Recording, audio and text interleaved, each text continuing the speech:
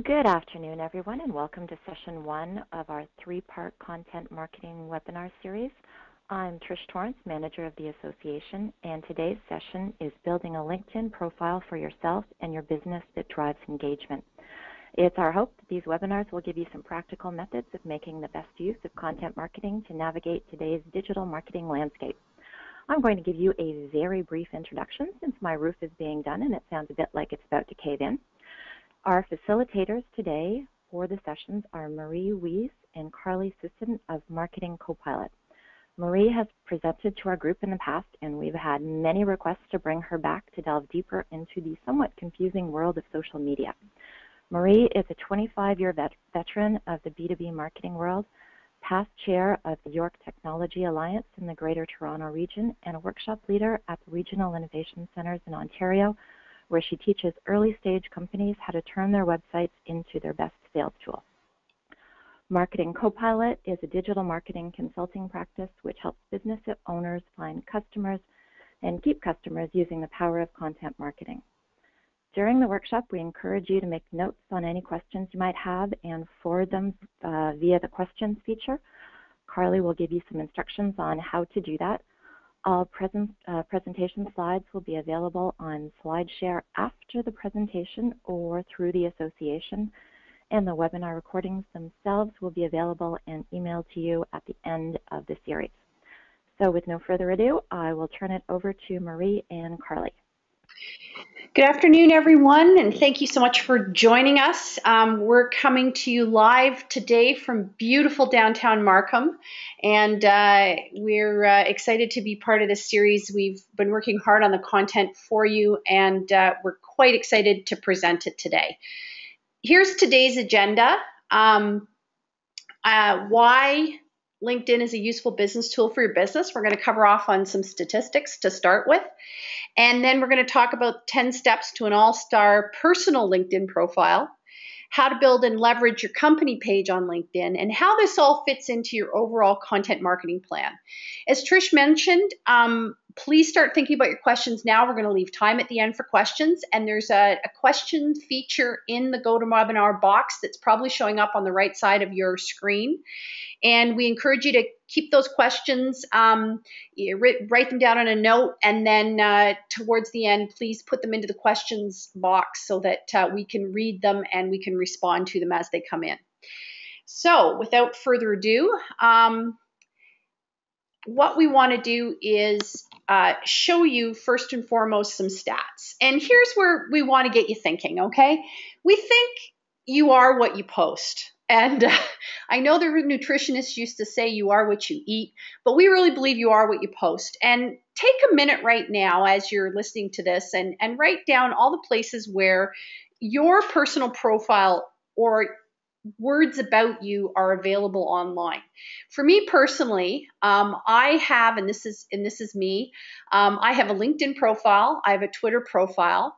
I have a Google Plus profile and a SlideShare profile and an About.me. That's where this little uh, one page website homepage comes from About.me. Now, what you'll notice is not there is Instagram or Facebook or a bunch of things. And we'll talk in a second about why that's not there. But I want you to start thinking about this and take a minute and write down uh, a list of all the places where you've got information about yourself okay and try to keep it in terms of what you might have for business but we're going to talk in a minute why these things cross over so it's important you create a thorough list of all the places you are online it's confession time for me. And uh, i want to say to the audience today i personally hate social media. And i i think that um, it frustrates me um, to a certain extent, it made me feel uncomfortable uh, because there was so much information that was getting shared um, about me and the way I had to think about myself online. And for me personally, I just feel like sometimes it, it's a waste of time. And I'm probably mo- no different than most business owners. And I've got my business to business hat on today when I share these things, but I also feel that very much from a personal perspective. And I bet you there's lots of people um, listening to the webinar today who probably share the same kind of frustration and emotion about the confusion and frustration that social media causes. Now, I, I, recognize that sometimes demographics play into this. If you're of a certain age, you struggle with it. It's a little bit easier if you're younger and you've kind of grown up with it. But I still think to a certain extent that it, it really forces people to think about their personal brand, and that's an uncomfortable thing to think about. So, um, the question that we've posed in many workshops and conferences, and I think we even did to this audience, is is it a useful business tool or is it a complete waste of time? Well, we can have a personal opinion about it, but the stats we've, we've pulled together here today are kind of interesting. So, Canada ranks in the top three countries around the world in online engagement. We love using online stuff in Canada, which is kind of interesting. We lead in social networking engagement. And I'm going to talk in a second about our cousins to the south, who everybody thinks they're ahead of us, but I'm going to talk about a few places where Canada actually excels. 40% of Canadians embraced Facebook or Twitter by the end of 2010. 40% of us are online doing something with these tools. And 50% big increase by the end of 2012 and it's even it's even greater today.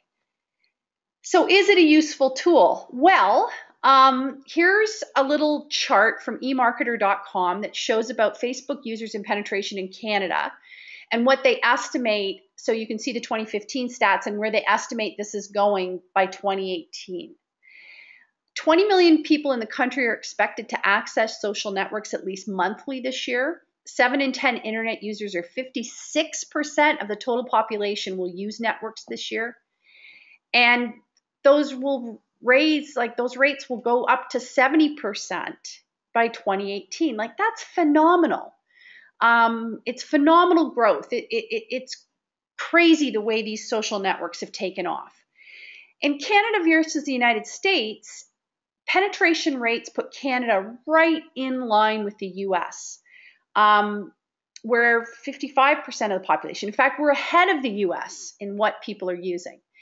And the vast majority of people are on Facebook. And that translates to just over half the population using the social network monthly, which is pretty phenomenal. It's pretty incredible, those, those kinds of numbers.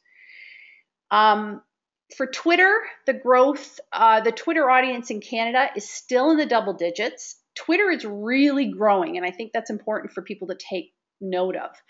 Um, one third of social network users in Canada will use Twitter this year, and it, it, it's pretty phenomenal that for us, um, that's over 8 million people, and it represents about a quarter of our total population. And Twitter's more popular in Canada and the US. Um, we're just 16% of the po- total population is using it versus 20% using Twitter up in Canada. Um, so again, little chart from emarketer.com that's just showing what's going to happen by the time we hit 2018. And uh, they expect it to go up to 23% of the population, which is pretty amazing. And that's accessing an account on any device at least once a month. With respect to LinkedIn, which is the topic of our presentation today, um, there's now over 313 million members worldwide. They pick up two new members every second, which is just, again, if I think about how long it took people to adopt the radio and how long it took people to adopt TV, it's it's it's baffling how quickly um, these tools are being adopted. 66% of members are outside of the United States, which is very interesting. And 39 million students and recent co- college graduates are on LinkedIn, which is the fastest growing demographic on LinkedIn. And I know it's difficult because I've moved from slide to side to show you stats on different social media tools, which are probably the most popular being Facebook, Twitter, and LinkedIn. But what you didn't see in some of those stats is LinkedIn and Twitter are dramatically on the rise, while Facebook is actually in decline. There's actually not the pickup happening on Facebook. Um, and if you talk to people, um, young people today, they're moving away from Facebook and they're more interested, especially as they're graduating and getting onto LinkedIn, they're more interested in using Twitter to communicate with friends. Um, and we'll talk about that in a minute about what that means for us as business people and what we should be thinking about in our overall social media strategy. But um, I think the most important takeaway from this slide and the previous ones is that LinkedIn is hugely on the rise. And that's really great news for us as business people about whether or not certain social media tools are useful tools and not a waste of time. The observation about social media, just at the very highest of levels, is that it has exponential reach and it's become part of our daily lives. Um, We've also been doing some research lately on mobile usage and the dramatic increase in mobile usage. I think these social media tools, coupled with better internet networks, coupled with the more uh, the bigger proliferation of mobile devices, has made it very much part of our daily existence. What's really great about social media that I do like about it, aside from the fact that I always struggle about how to present myself or how to talk about myself, is that it makes us think about our message and our content. It makes us think about keywords. It makes us think about those things we personally want to be found for. And the most important thing when you think about social media as a really useful business tool is you have to remember that it's blurring the lines right now between company and individual. And the reason I like that as a marketer is that people buy from people. They don't buy from quote unquote companies. We don't sell to companies. We buy from people. And never before have we been able to access information that helps us understand the individual. Um, remember, it was only maybe five or six short years ago when, if we were trying to get to know somebody at a large corporate account, or even we were trying to understand whether somebody was um, a legitimate business to buy from, we didn't have a lot of options to go look them up and figure out who they were. And now it's as easy as popping on LinkedIn, searching somebody's name or searching somebody's company and seeing really important information that comes up if we're trying to do research or due diligence on that company. And it, it blurs the line between how we present about ourselves versus our company. And so we have to think about how those things intersect from a business perspective.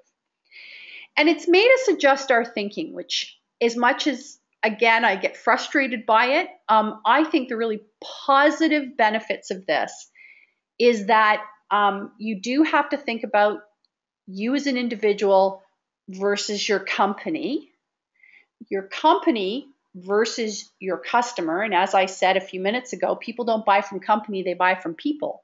So you have to remember how you're presenting yourself online and product versus problems. And we're going to get into this in a little bit, but customers are not targets. They're people who are interested in solving their own problems.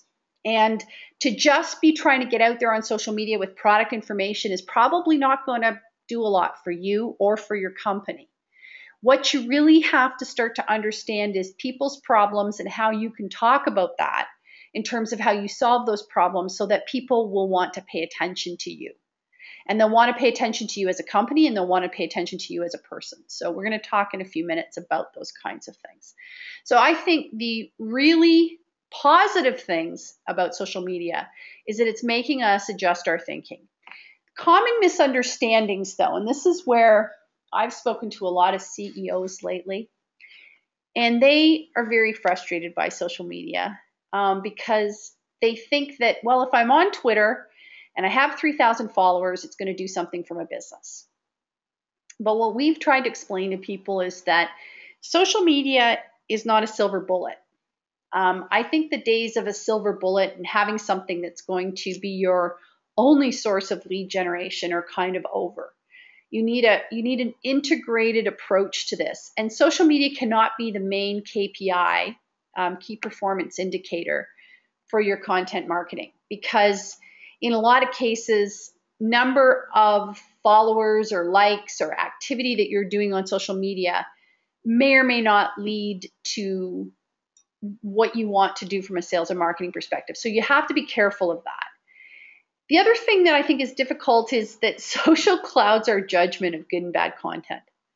And Um, I had an experience recently where somebody in the insurance industry was trying to reach out to me and they started emailing me. Um, and I'm, I'm struggling to remember whether or not it was with or without my permission. And their content was just horrible. And I bring that example up. The headline in the email was bad. The way they'd put the email itself together was bad. It had a bunch of um, misplaced logos. It was all over the map. And I thought to myself, somehow this person thinks that just because they have access to email or just because they have access to social media, that they can just put anything out there. And it, it clouds our judgment because it seems so easy to use. that leads to the next point is just because it takes five minutes to open a Twitter account doesn't mean we're good at it. And just because it's easy to access and easy to use doesn't mean it's easy to understand and doesn't mean that it's easy then to develop content. The other thing that I think people misunderstand is the phrase interaction. And a like, a tweet, a share, it's an action, it's not an interaction, which means that if there's no physical or measurable response associated with that like, tweet, or share, it's probably noise. And that's the next point is if it's not part of your sales process, then it's noise. It needs to lead to a physical and measurable response. And I think um, that's where people continue to struggle because they have ta- they have a hard time understanding those analytics, and they have a hard time understanding um, the way in which they're going to measure certain things within the entire buyer process and sales process. So here's just an example to help you kind of orient yourself to these concepts. So the difference between social content and sales content. Okay. Now, I know we're online virtually today doing a webinar, and I'm not going to ask you to put up your hand, but take a minute and read these two articles. These were headlines in two different articles that were then posted in social media and asked people to click through to the full article, which was posted um, in different places. So, article number one myths about marketing automation you need to know. Article number two HubSpot versus Infusionsoft. And those are two very specific names of products. Which is the best marketing automation software? So, take a minute, think about it. In your mind or in your opinion, which do you think performed better?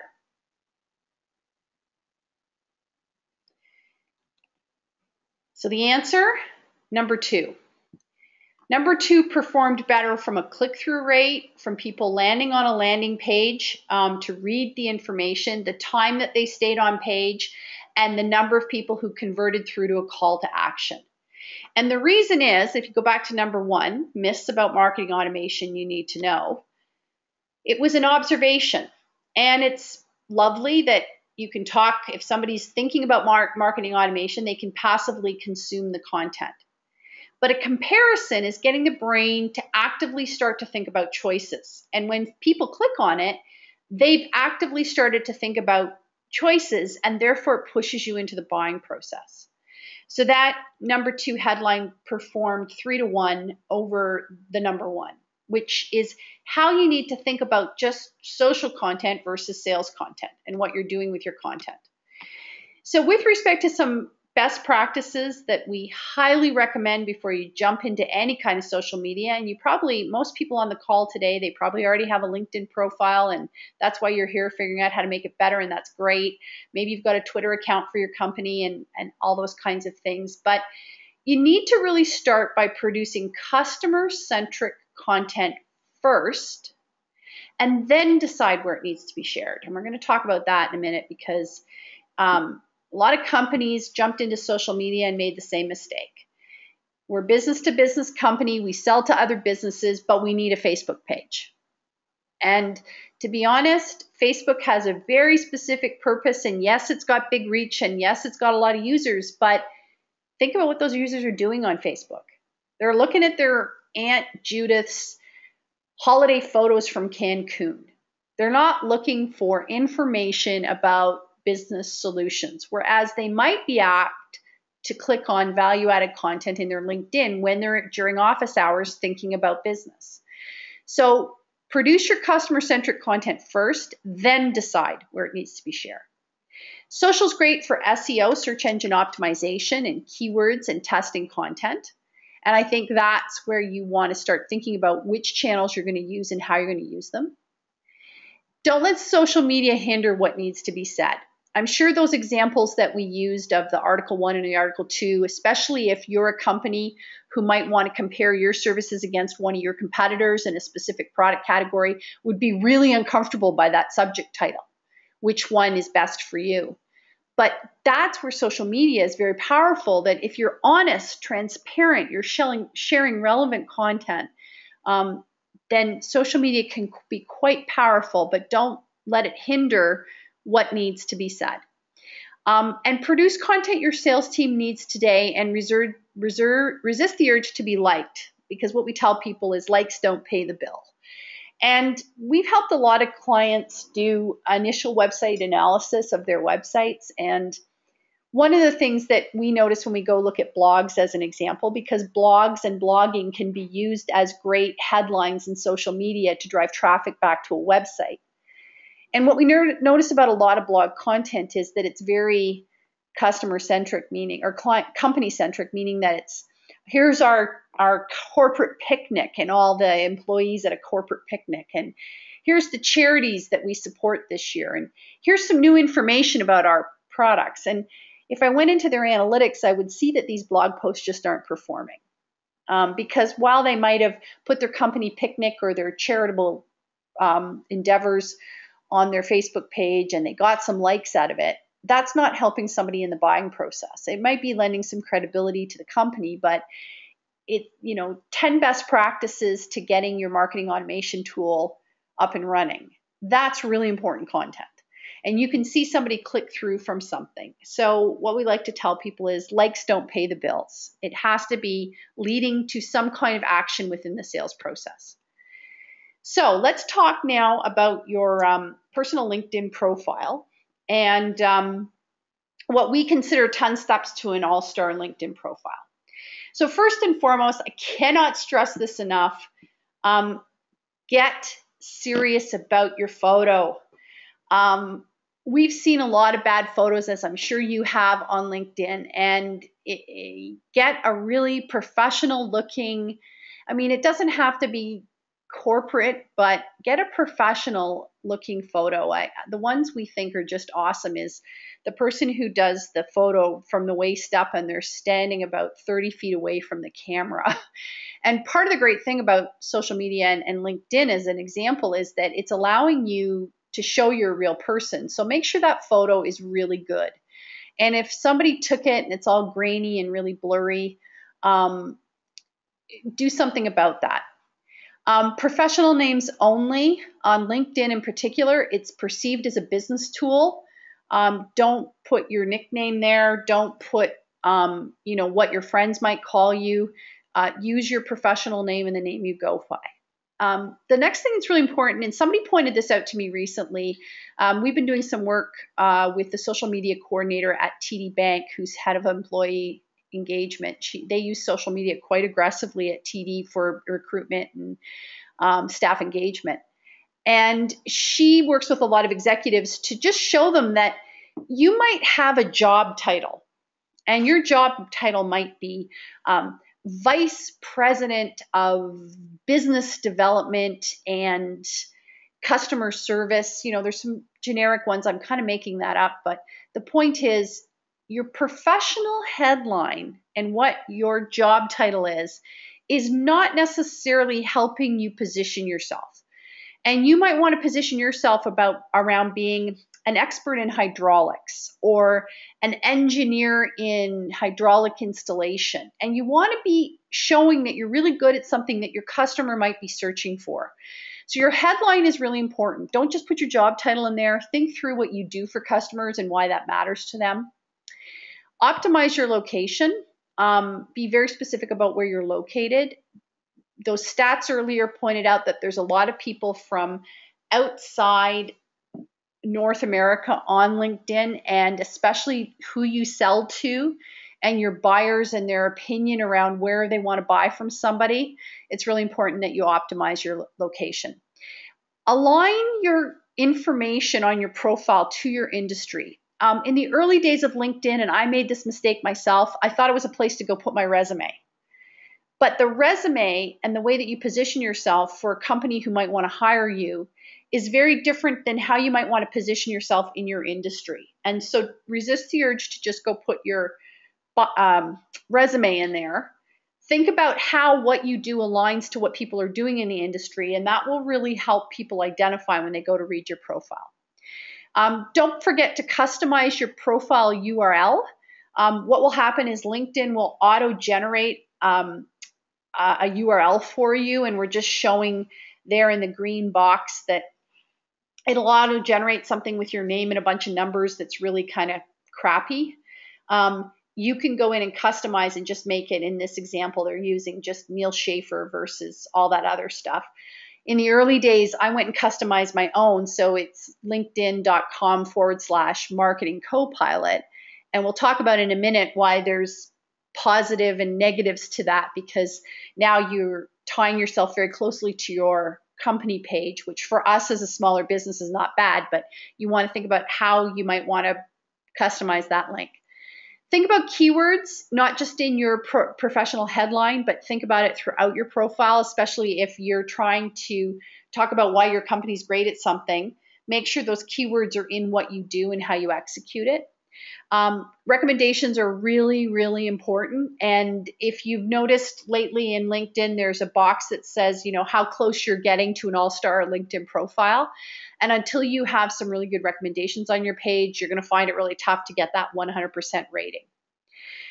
We also suggest that you build your online network from real relationships. And this is where I get frustrated by social media and, and, and LinkedIn in particular. And you have to make a decision about this personally.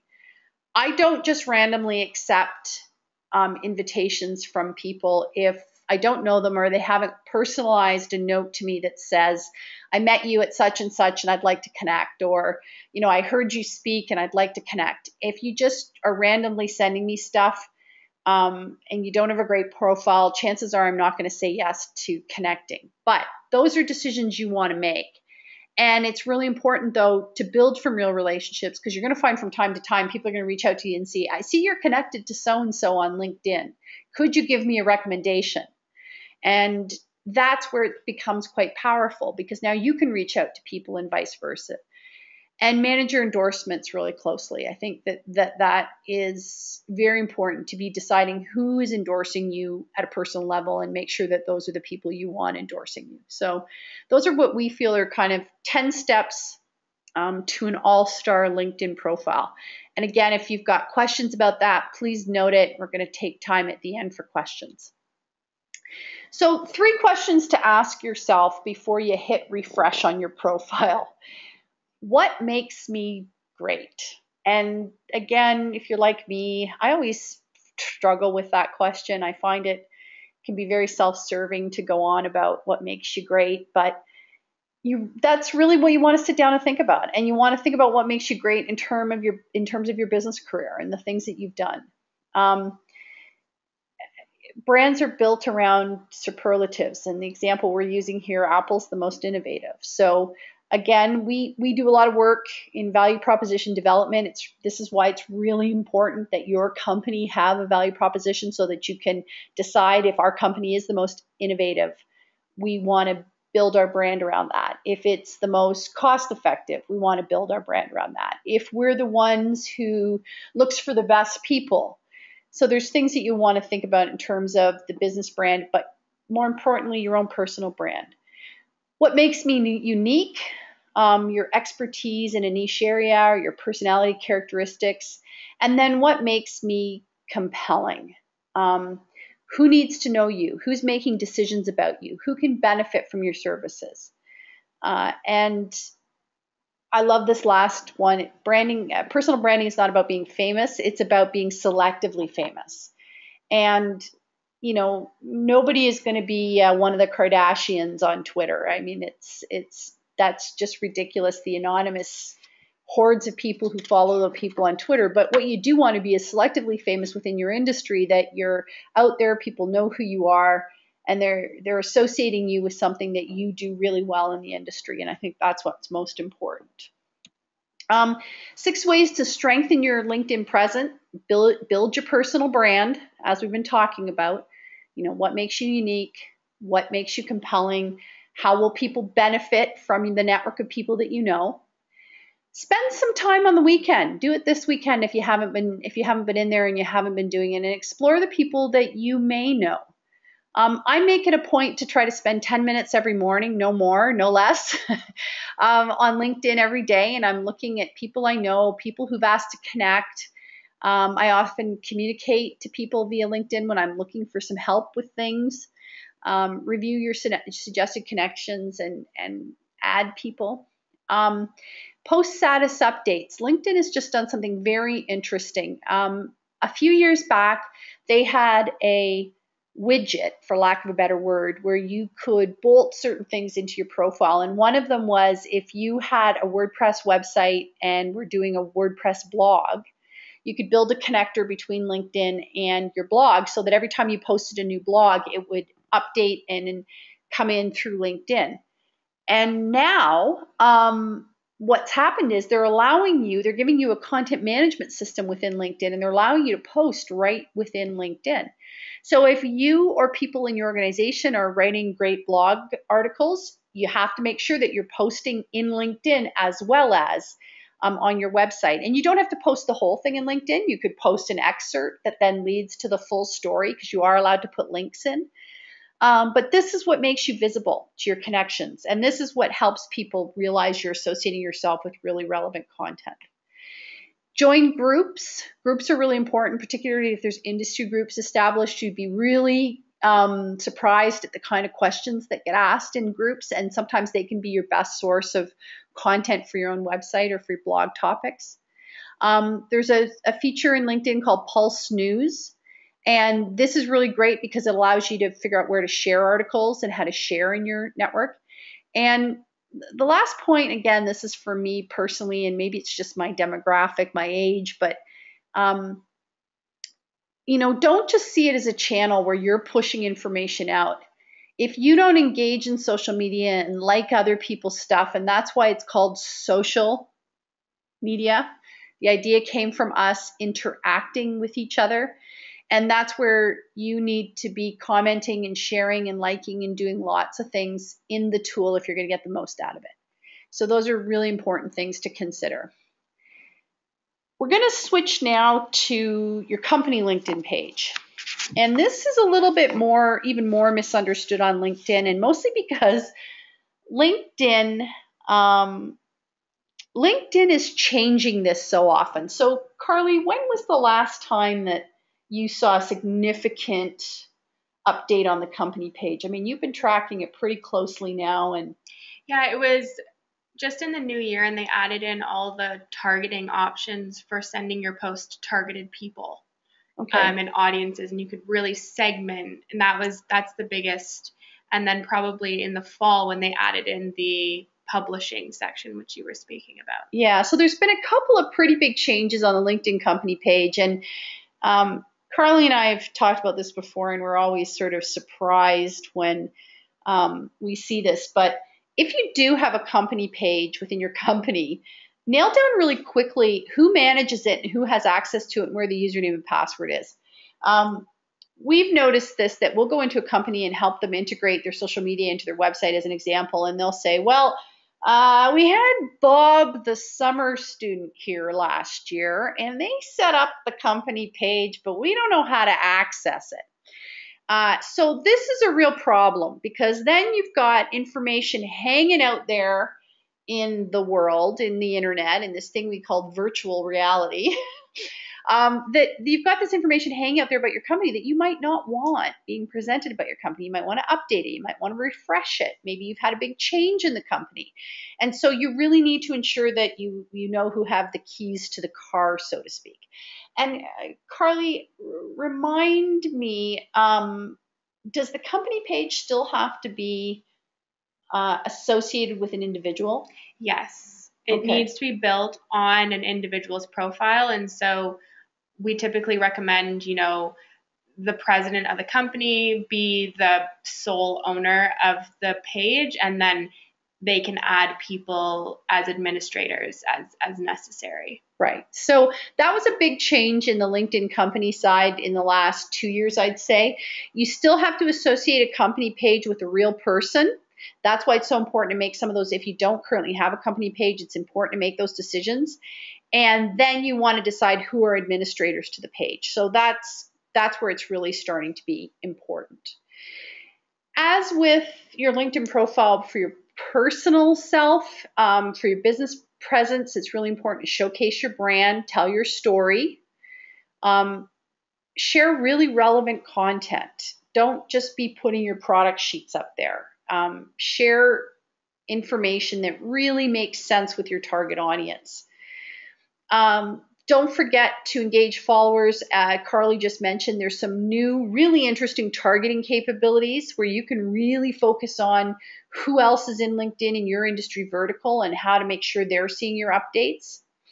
Um, there's another thing that they've added that we're we quite like. Now, I imagine that if you don't have a formal reporting dashboard for your company, you might have to go grab these manually. But um, the engagement analytics dashboard that you can see the data of who's viewed your profile, how long they stayed, what they did is really important. And um, LinkedIn shows up as a very um, specific referral in Google Analytics, doesn't it, Carleigh? Yeah. So yeah. So you can definitely see in your Google Analytics if you're driving traffic to the web to your website via social media tools, you'll be able to see very clearly um, where some of your traffic is coming from. And now you can start to see what they're doing on the website and this whole idea of, you know, driving sales. You can start to see a whole bunch of things.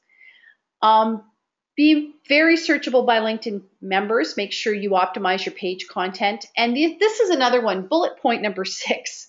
Um, I know I'm, I can't ask this question and see a show of hands right now, but I'd be interested to see of all the people who've joined us today online, um, how many of you, if you went to your company page, if you have one, how many of your employees are following your company page? Because this is a mistake a lot of people make. They put their company page up and then the employees don't follow it. And that's a big mistake. Um, you need to show that your your company is popular with your employee base and to see who works there. And I know there was a time when people got nervous about this. They used to say things like, well, what if uh, my competition goes and sees who works for our company and they're just going to recruit them?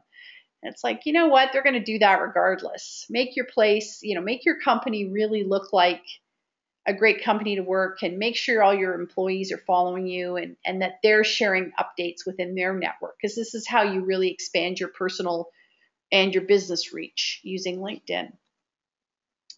As part of your digital strategy and your overall digital strategy, as we've said before, there's no silver bullet here. It's not like LinkedIn is going to be the magic solution that drives all the leads to your website now online, but it's part of your of your strategy and it's a really important part.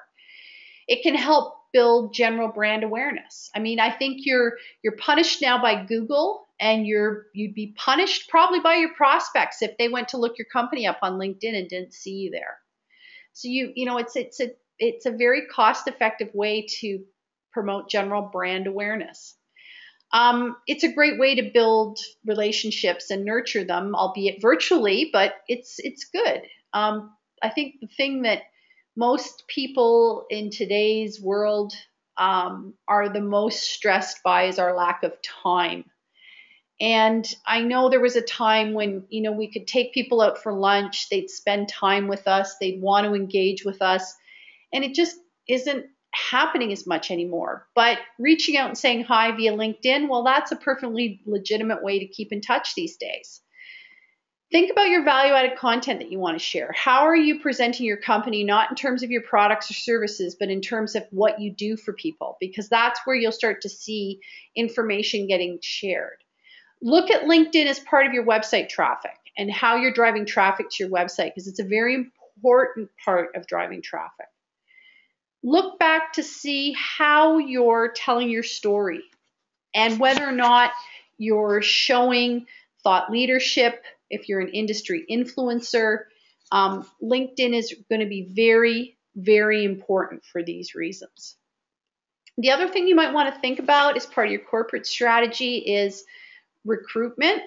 Um, I mentioned that people get nervous that their competitors are in there recruiting their employees.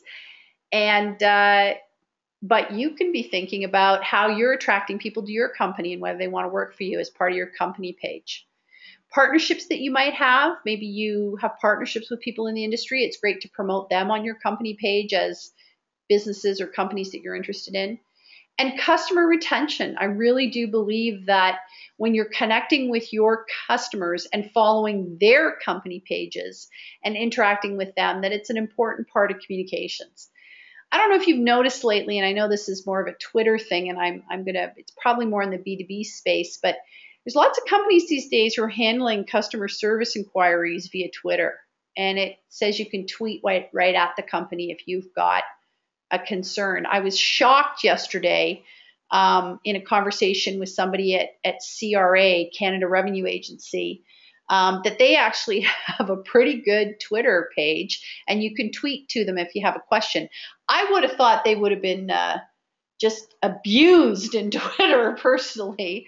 And I went to look them up in LinkedIn as well. Just, you know, nobody likes the tax man, but that being said, they have a very, very good uh, Twitter page, and they've got 56,000 followers, which I was shocked by.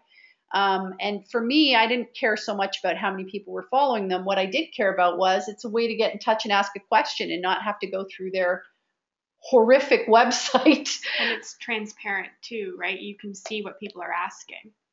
Mm-hmm other questions they've asked. Uh, they had they did a great use of video on the page, which I thought was really good. Like instead of just answering a question, they had somebody giving the answer in a video, which I thought was really cool. And you can do that in LinkedIn and Twitter. So these are just a few little things that that we want that you can you can see or that we want to talk about. Um, so we're going to put up a comp- an example of what we think is a really great company page, and we're going to tell you why. And I'm just here's a little disclaimer.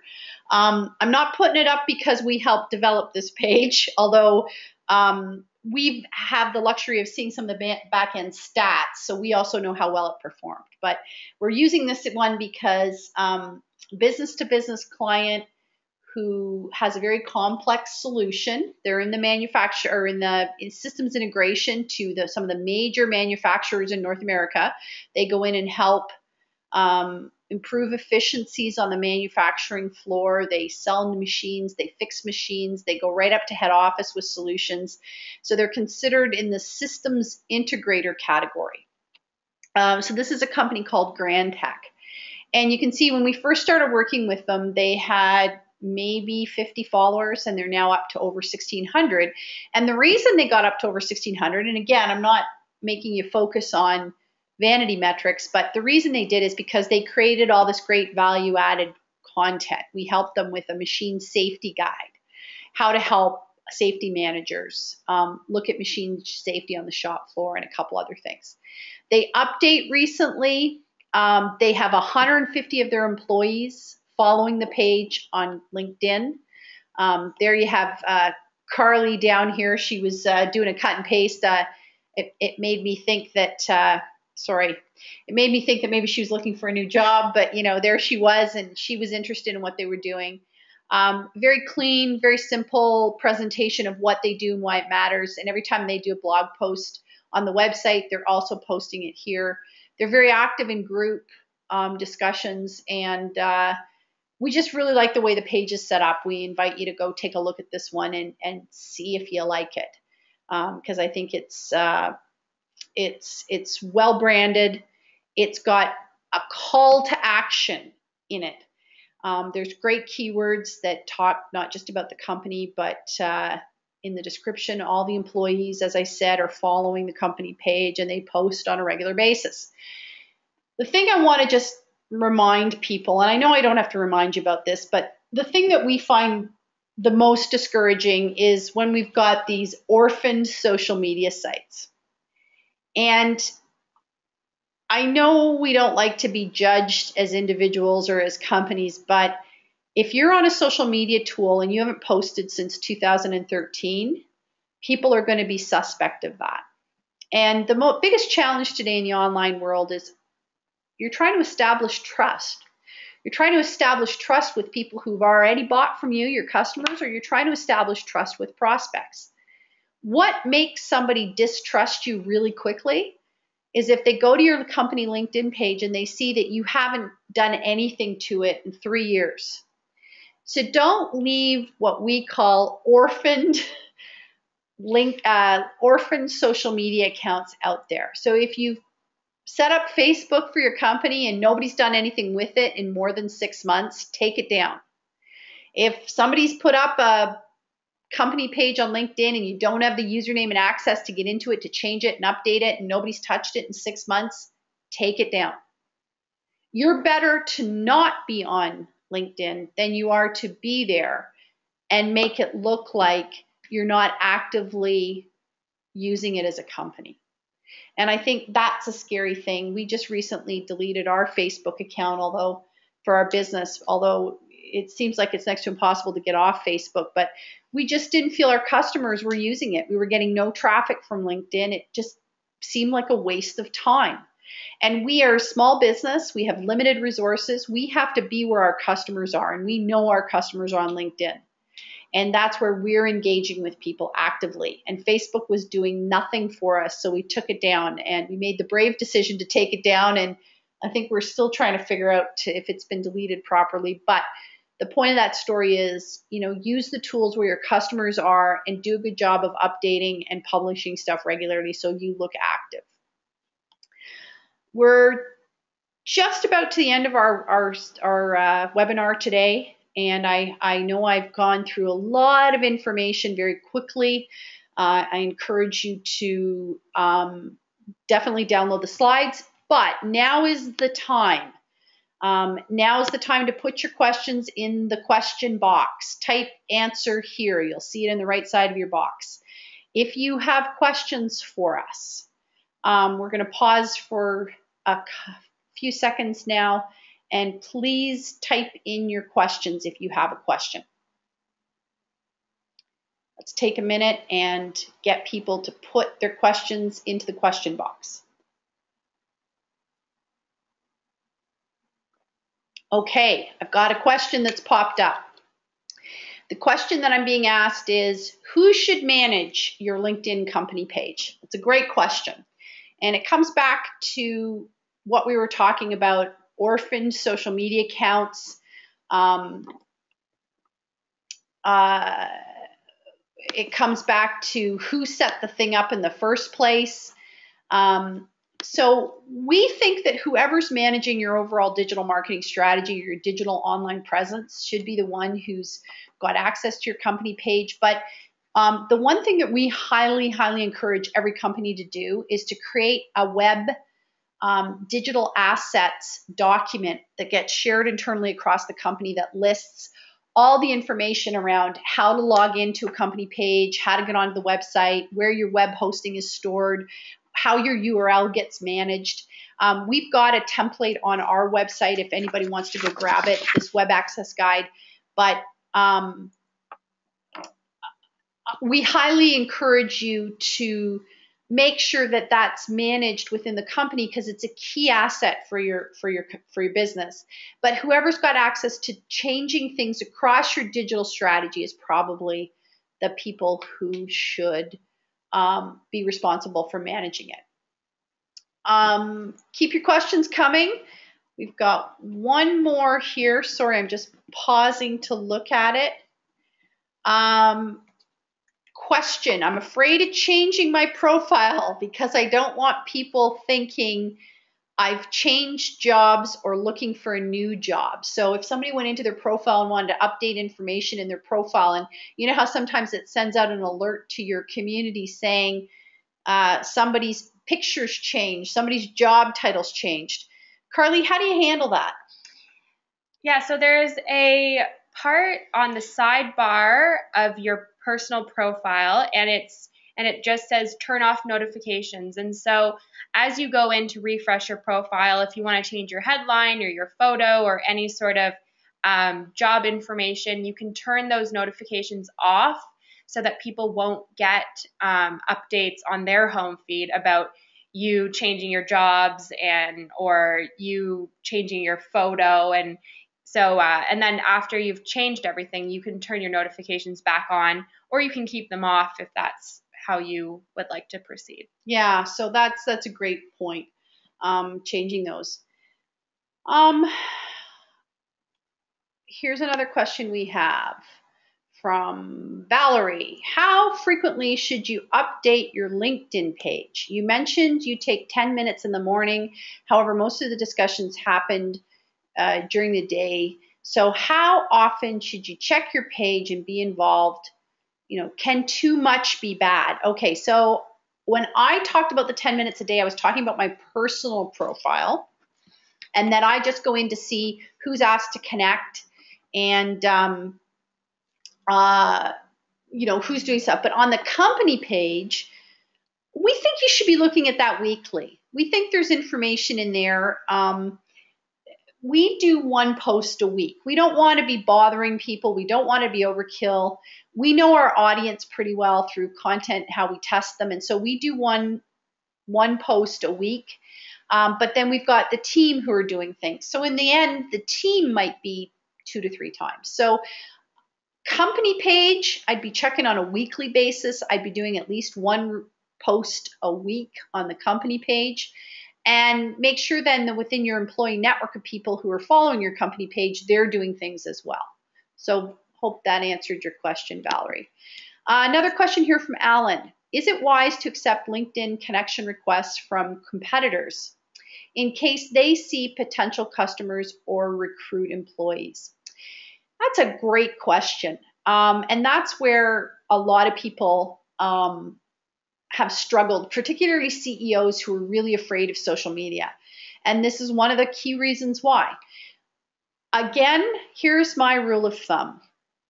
How good is your relationship with this person? So if they're a competitor, but you worked with them in another company and you have a personal relationship with you and they've been clear about why you want to connect, then there's nothing wrong with that. If you don't know this person from a hill of beans and your competitor's reaching out, I'd say no. Um, but I would say no to anybody who reaches out and hasn't been clear about why they want to connect or why you think there's a good reason to connect with them. Um, and, you know, I, I, hate to say it, Alan, but um, your competitor is going to find out who your customers are regardless and going through your LinkedIn profile. That's why it's so important that your content be better than your competitors' content and your website be better than your competitors' content so that you win in those situations because it's going to be hard for them to pick up the phone and start building relationships with those people just as it was for you in the beginning. So I would say treat competitors as individuals and if it makes sense to compete eh, to connect with them as an individual great if not then don't bother um, Another question we have here comes from Ron. I accepted an individual on LinkedIn, but his company logo branded my page. His company starts with the same name as mine, and I cannot delete this logo for some reason. Wow, that's a tricky one. I've never heard that one before. Um, Carleigh, uh, any suggestions here? Ron, we might have to take this one offline and dig a little bit deeper and do some research for you. I've never heard of that happening. I would I would reach out to LinkedIn like corporate and uh, see if there's any sort of troubleshooting or customer support that they can help you with because that sounds very strange. Yeah, I don't know how that happened but something might be happening in the background where it's pulling a logo from a URL. So maybe there's the wrong URL listed somewhere yeah. on his page. Well, yeah, it look it looks like you might have accepted to be like working at quote unquote working at his company or something like that. Yeah. Ron, I, I we don't have a straightforward answer for you, but if you want to follow up with us online, um, Carleigh could maybe find out a little bit more, it's C A R L E I G H at marketingcopilot.com. And uh, she'd be happy to help you. But I think you might have to put in a um, change request to LinkedIn. And I, you know, to be fair, they're not great. Uh, they take a long time to get back to you, but um, do maybe put in a request and say, why did this happen and how can I get rid of it? Because uh, that's a weird one. We've never heard that one before. We have any other questions before we wrap up?